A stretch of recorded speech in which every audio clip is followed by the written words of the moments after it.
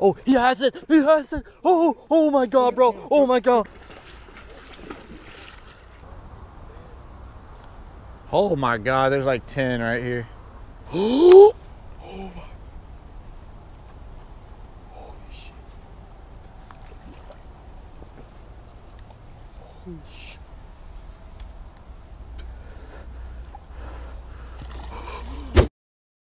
Something just got me.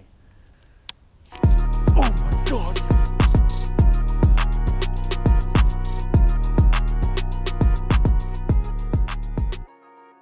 Now let me show you guys what I got rigged up right now, what I bought at Walmart. So this is getting very serious. Today is a very serious day, people. Today we're going to catch some giant double digit bass and I am not playing by this, all right? I'm going to get me some revenge on old monster that I lost, you know, a few weeks back. He's got. No. So today, the first thing we gotta do is obviously go to Walmart. We did that. I got some oatmeal. If you guys are wondering why I have oatmeal, I'm gonna throw some on top of the water just to attract some bluegill if I have to. We got some biscuit dough. That's the secret weapon today. This is what I used to use when I was a kid, when I was a little boy. You absolutely smack fish on that. Got some little split shots right there. Bobbers. Then we got some of these old little little baby hooks. This is what I used to use when I was a kid. Guys, I am not, I'm like a bass fisherman with artificial lures. Like I, I don't go use live bait. That's just not what I do. So if you guys have some tips for me, leave them in the comment section below. This is just not me. I'm gonna do have some braid I'm gonna put on my bait caster. And then I have like multiple different style hooks. So it's kind of weird, all right? As you guys can tell right there. That's that's gonna go for like to hook the bluegill. This is the problem, is like this Bass, Bass Pro Shops. This Walmart here has a lot of saltwater stuff and they really didn't have what I needed. So I just kind of got what, you know, I think might work. That's, that's, that's a scary thing. And then some pantyhose. Uh, I really don't know why I have pantyhose. I have no idea, but supposedly it's supposed to help keep this on the hook. I, I don't know. I usually just put biscuit dough on my hook, but there's whatever guys. Um, the next thing, um, there is a bubble box. If you guys don't know what a bubble box is, it's actually, you know, a little portable, pretty much like a live well. So I'm gonna put all the live bait in there. It's got a little aerator on it and uh, it's gonna keep the bait live. So our first part to this process is to go catch some bluegill, which I believe is gonna be harder to catch the bluegill than the bass. So uh, that is what we're about to go do. We're about to go catch some bluegill. I do have a little rig right here. I Got a little bobbers, a few little split shots, which I probably don't need. Then my little hook down there. Then we're gonna put the biscuit dough on there and go catch some. Throw maybe some oatmeal in the water, maybe attract some bluegill to the surface. We're gonna try to aim for around five to 10 bluegill. We need some bait. If we don't catch a lot, then there is a bait shop we might go to. But let's let's go ahead and try to catch some, catch the catch the bait first. The best freaking part. Always scares me.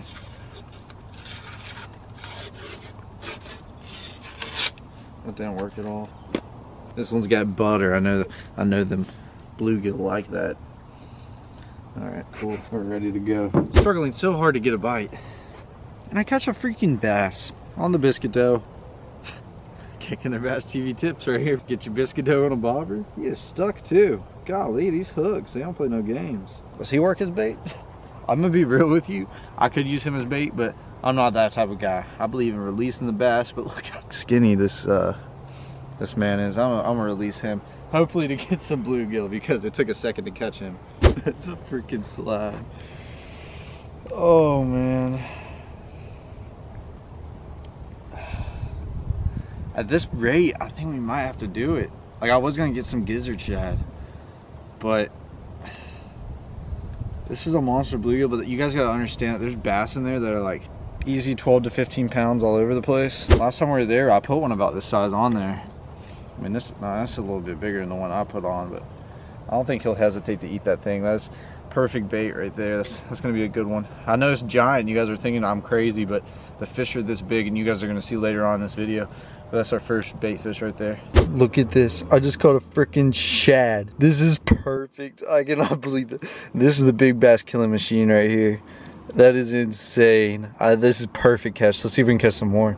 All right, everybody. I skipped a lot of stuff. So we have one giant bluegill, two huge shad, and then I got two dozen shiners, which are about this big.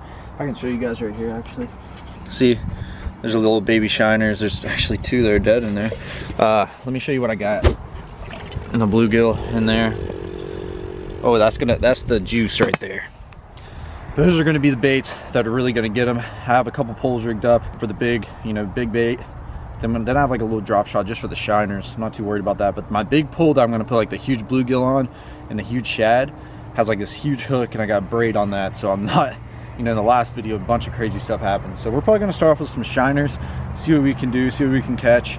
And then we'll move over to the big bait for that huge bass. But let's go ahead, get this started. Oh,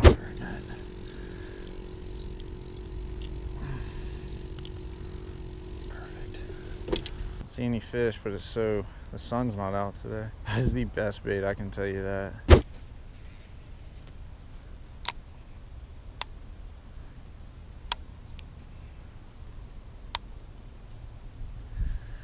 All right. Want to go rig your rod up with one? What are you gonna do if that thing yanks in the water? He won't. I got my line clipped. I'm just hoping to come back and there'd be one on there. They got a hard head, I can tell you that. Check my rod. I think mine's dead. He's probably no good. Holy oh. I think there's something on the bottom. Look, look. Something just got me. Look, something just got me. Look at him running. Oh my god!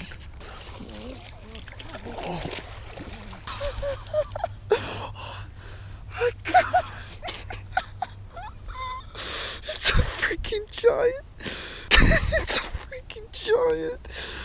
I knew something picked him up right when I picked it up. Guys, this is exactly why we came here today, boys. Exactly why we came here. Catching giant bass like that. A live shad. Look at his stomach. That is the healthiest fish I've seen in a while. Freaking toad. We're gonna get him back in the water. We still got the bluegill, one more shiner, and just see if we can catch some more giants like this. That's unbelievable. Godly. Beautiful fish, first fish of the day. Awesome to be that size. Let's get him back in the water. Oh man, that is awesome, baby. Look at that, guys. Pepper that like button up for that one. Might catch a giant out there. I feel like they're all in the middle now. Looks like. Oh, you got one. Holy crap. He's not that big. Nice, decent. Yeah, they're out there in the middle. On this shiner. A little drop shot rig, barely hooked. Whoop, there he comes out like that. That ain't, that ain't too big, about a pound and a half, pound and three quarters. But I'll take him for the second fish of the day. It was right there, first cast on the shiner after messing with the big ones. But let's go back out there. We I, we got to catch another giant after that first one, and it's totally possible right now. It's just so beautiful these fish. It's awesome catching them in this cold water like this. Yep, you got him. Oh, I see him. He's like two pounds. I ain't about a pound. it's all taking off. There you go. Ain't big. First one today, though. All right, boys. This bad boy's about to go on the hook. Probably the biggest bait. I mean, if you guys could tell. I mean, he's bigger. About big as my hand. We're about to see if we can catch one on him.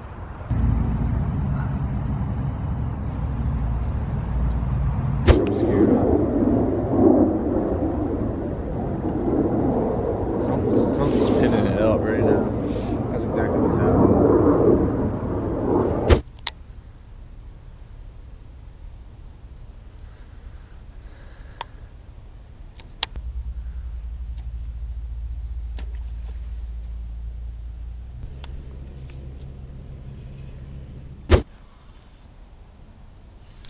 Oh man, got one. Here we go, baby. Nothing big, another small one. Small ones love these little shiners. Oh, don't tingle my drop shot, buddy. Come on. I'm about to release you.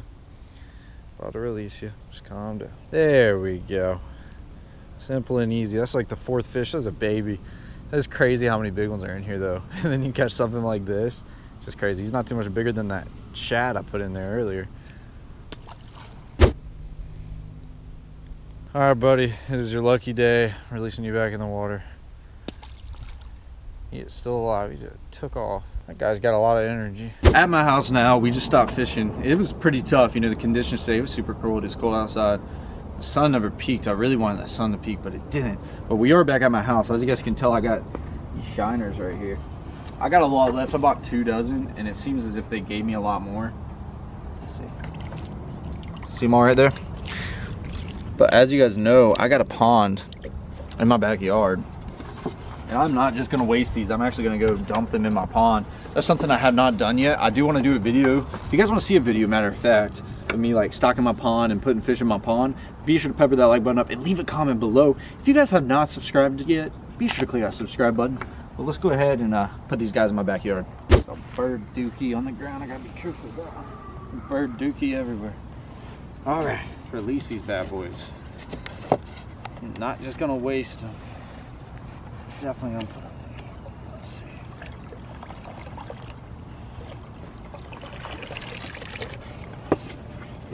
There's a few dead ones. Look at them go.